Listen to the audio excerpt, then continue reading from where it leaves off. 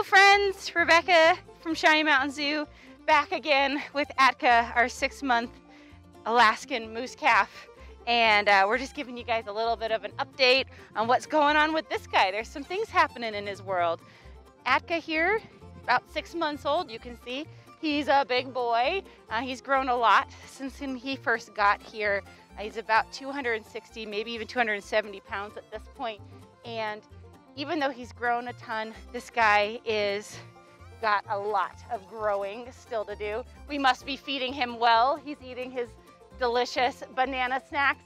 If any of you saw the video last time, I brought a banana from home and he said no thank you, but this one looks far better and he's just gonna eat that peel and all. This is by far one of his favorite uh, treats. So big news for Atka is that he has officially been weaned. No more bottles for this big baby here. Uh, it was a hard transition for him. I'm not gonna lie. He did not like no longer having his bottles, but you know, it's time. And mom actually would have told him no more nursing a little while ago.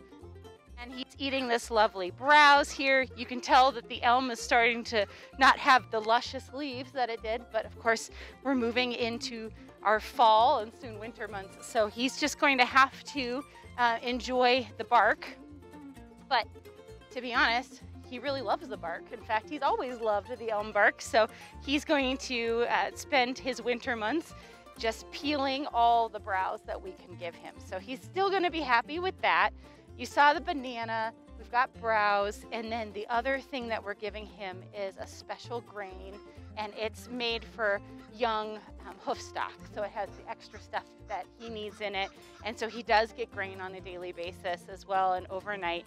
And so if you ever come by the exhibit, and he's looking hungry, just know he always has access to his grain and hopefully browse. We try to still feed him multiple times a day. And, you know, just it was time to say goodbye to the bottles. And any of you that have had kiddos that you've had to um, get off of like a pacifier or something like that, you know, it can be not the happiest time for them. So he did uh, put up a big fight about it, but he's on the other end and we're all good he's feeling really good these days. We've actually been starting to see a lot more zoomies and some kicking and some running and playing with toys. We've got this like fun little area over here where there's some things hanging on it. Yesterday, he was plowing through that and playing around with that. And so we're actually seeing like the real moose calf kid play that we were um, really uh, enjoying watching him do all that. So the last really big piece of news for this guy is that today, we're actually gonna work on expanding his yard. So it's time that he gets most of the yard. Now, to be fair, he doesn't get the pool just yet. Uh, but yeah, he's gonna hopefully have that whole grassy knoll and all that space to run around and really get his zoomies out. And so we're super excited about that prospect and we'll be seeing how that goes over the next week. Now, he is actually getting access at night too, so he gets to have the outside time as well. So big steps here for Atka.